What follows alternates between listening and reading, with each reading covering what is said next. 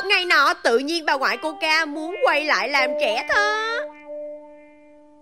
Hello cả nhà, dạo này Sài Gòn mình mưa gió quá trời luôn đúng không? Cô ca cứ đòi đi công viên chơi hoài à. Nhưng mà mưa thì công viên sẽ đóng cửa. Nhưng mà nhờ như vậy mẹ Mẫn mới phát hiện ra được một chỗ vui chơi rất là thú vị Nằm ở trong công viên Thỏ Trắng với lại công viên Lê Thị Riêng nè. Xin giới thiệu cho mọi người, đây vừa là một môn thể thao mà vừa là một trò chơi có tên là Jump Arena. Khi mà vào mua vé nhân viên sẽ cho mình một tờ cam kết sức khỏe để mình điền thông tin vào Và sau đó là đeo cái vòng lên tay rồi xong phát vớ cho mình. Có nhiều giá vé tương ứng với lượng thời gian chơi khác nhau Nhưng mà Mẫn đã chọn giá vé 120 ngàn là chơi không giới hạn luôn. Mà hên ghê luôn á ở đây người ta đang có chương trình khuyến mãi. Thứ tư đi ba chỉ tính tiền hai thôi áp dụng hàng tuần. Khi mà mình mới vào chơi lần đầu á sẽ có nhân viên hướng dẫn mình nha sẽ chỉ mình cách khởi động nè. Trò chơi Jump Arena. là một nét văn hóa rất là Trendy and sporty. của giới trẻ ở trên các nước lớn trên thế giới đó nha. Các hoạt động này vừa giải trí nè vừa rèn luyện và định hình phong cách cá nhân rất là tốt luôn. Cái này chơi vừa vui sẵn tiện cho cơ thể mình vận động luôn. Ta nói tại vì với mình á thì cái môn này lạ thôi vô đây vẫn thấy quá trời các bạn nhỏ chơi luôn. Đặc biệt á là có rất rất là nhiều anh chị cũng như là các bạn có những skill nhảy rất là hay, rất là đẹp. Ngoài những cái ô vuông nhún nhảy ra thì cũng có một chiếc hồ đựng các loại xốp rất là mềm luôn nè. Mình có thể bắt đà từ xa, sau đó thì nhảy xuống. Trời ơi, mà trong cái đấu trường nhảy này cô ca mê nhất chính là cái chỗ này luôn, ảnh khoái quá trời. Mẫn á thì nhảy cà xịt cà lụa vậy, không biết khi nào mận mới nhảy được như cái anh này nữa. Quá xá là đẹp, quá xá là xuất sắc anh ơi. Mưu đẹp. Đúng là một trò chơi nhưng mà hai số phận. Tính ra không hiểu sao thấy cô ca nhảy có vẻ còn đẹp hơn mẹ mẫn nữa. Bây giờ mình sẽ đi qua khám phá cái sân bóng rổ nha mọi người nha. Chúng ta sẽ chạy trên cái đường nhún nhảy này nè, mình có khả năng bật cao hơn nữa đó, để thảy cái bóng vào trong cái rổ. Ok,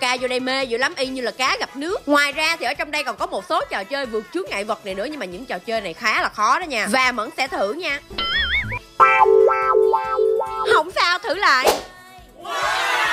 Trời ơi, thấy chưa? Thành công rồi đó hay chưa Cái đồ vượt chướng ngại vật của người ta Cái coca lấy làm xích đu đu tỉnh bơ kìa. Con trò này là mình sẽ lấy đà từ xa Mình chạy thẳng lên trên cái đỉnh của con dốc. Mẫn cũng vác cái thân hình nặng nề của Mẫn thử rồi Nhưng mà không được lên tới giữa dốc lại tụt xuống này. Coca thì cũng không khác gì mẹ Mẫn luôn Lên tới giữa dốc rồi nhưng mà coca bám trụ lại được miếng. Và cái mà Mẫn thấy đặc biệt nhất là ở trong đây có trò leo núi luôn nha. Nào giờ có cái trò này ở trên tivi không à? Đây mới là lần đầu được chơi thử đó. Mới chơi thì cũng hơi sợ Nhưng mà hên ghê là có đồ bảo hộ Bởi vậy cũng an tâm. Với lại thử rồi thì mới thấy cái trò chơi này cũng thú vị lắm chứ bộ. Nhưng mà có điều cái lúc mà tuột xuống thì hơi rung nha mọi người Tại Mẫn sợ độ cao lắm. Chơi mệt quá đi ra ngoài trước mua nước uống nghỉ giải lao xíu nè Xong rồi lại vào chinh chiến tiếp. Em Mẫn công nhận là phải để coca luôn á Coca chơi hoài không biết mệt. Ở đây mở cửa từ lúc 2 giờ chiều cho tới 10 giờ tối. Riêng thứ bảy và chủ nhật đó là mở cửa từ 8 giờ sáng cho tới 10 giờ tối nha. Trò chơi này rất là phù hợp cho các bậc phụ huynh Chắc các bé đi chơi luôn á Tại các bé từ 4 tuổi trở lên là có thể chơi được rồi. Vào đây là thoải mái tự do tung tăng bay nhảy. Còn cái lúc này á là các bạn nhân viên đang bu lại để kiếm chìa khóa giùm bà ngoại coca Bà ngoại coca chơi vui quá cái làm rớt chìa khóa luôn Sau khi kiếm được chìa khóa rồi thì bây giờ cả nhà mình đi về thôi. Chơi quá là đã rồi. Giờ về nhà nghỉ ngơi ngủ sớm. Mai coca đi học nha. Mai mốt coca mà ngoan nữa thì mẹ Mẫn sẽ dắt coca đi chơi tiếp. Bây giờ thì bye bye